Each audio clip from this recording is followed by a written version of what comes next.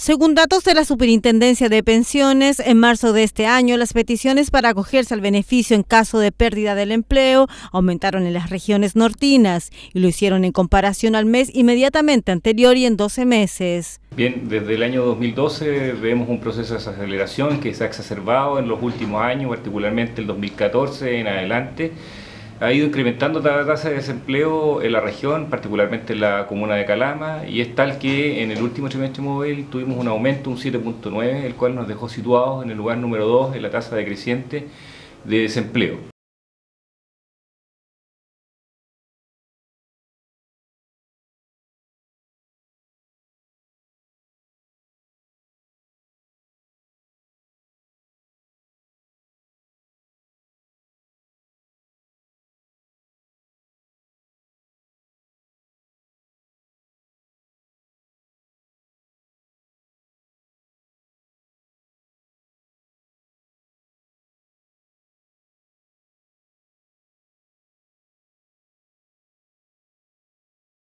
La gran cantidad de gente que ha sido desvinculada, particularmente bajo la causal del artículo 161, necesidad de la empresa y en otros casos de mutuo acuerdo de las partes,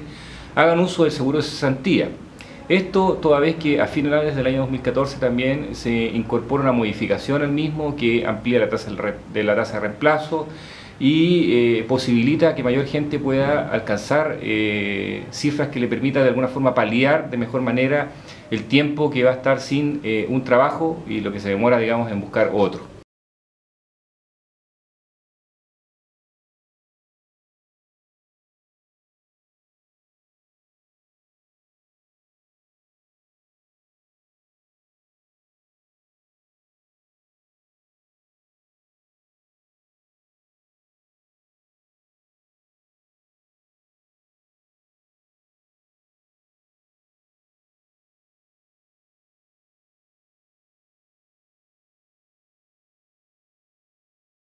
Eh, particularmente en materia de empleo, eh, no obstante haber generado esta modificación legal respecto al seguro de cesantía, eh, estamos trabajando a través de un comité tripartito en el cual está inmerso el sector público, el sector privado y otros actores de interés de forma tal de generar planes y programas de empleabilidad, tener una cartera nutrida de proyectos en materia de MOB, de Servio y también sincerar las propuestas que vienen del sector privado, a de poder generar la mano de obra a través del CENSI y sus programas adecuadas y pertinentes obviamente a la demanda que el mercado vaya requiriendo.